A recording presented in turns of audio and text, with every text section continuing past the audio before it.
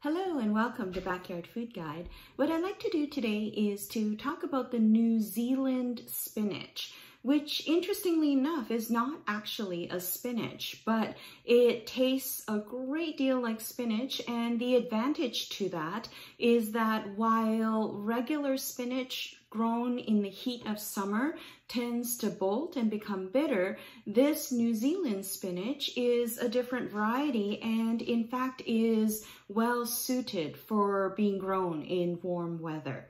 So what I'm going to do is to give it a try this year and see how things go. It does taste very similar to spinach, especially when cooked. So the raw versions simply taste like a mild leafy green and perhaps doesn't have as strong a flavor as spinach raw, but when cooked, everyone is saying that it tastes quite a lot like spinach. So it's a leafy plant that can spread several feet and grows to be about a foot tall. It can be grown in garden beds or even in containers. So if you decide to try a container, you can put two into a five gallon pot and it should spread quite nicely and provide you with a nice crop. What you want to do is to plant the New Zealand spinach in full sun.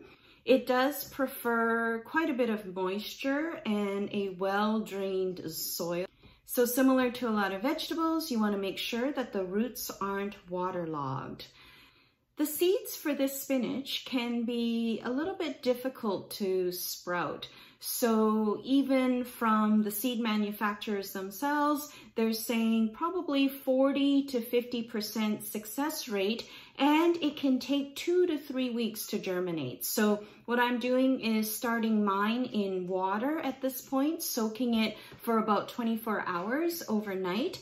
Others have said that using a nail file to kind of break up the seed a little bit to scratch it up a little bit can be another easy way to try and speed up the germination process. But I'm going to use the water method in this case and make sure that you plant in soil that is already relatively warm. So if it's too cold or wet, it probably won't germinate very well at all.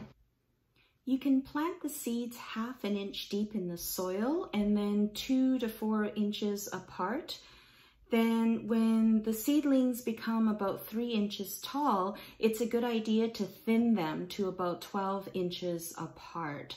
Once they've gotten to a good size, what you can also do is mound up some dirt near the base of the plant, just like you might do for squash, for example, and that will give the stems some space to sprawl after this point.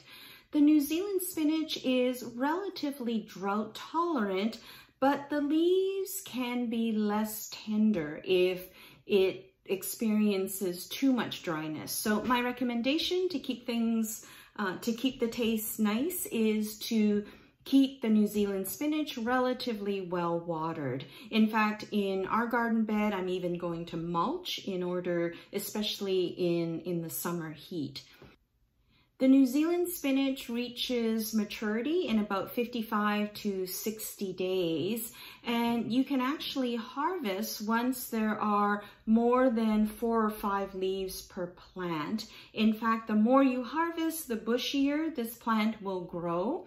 And what you want to do is to harvest starting with the leaves that are closest to the stem and then making sure that you never take more than a third of the plant if you want the spinach to keep coming. Once you've harvested, the spinach will keep in the refrigerator for about a week and you can eat both the tips and the leaves themselves. So this sounds like a great summer alternative to spinach that bolts and I hope you want to give it a try. If you enjoyed the video, please like and subscribe. Thank you for watching.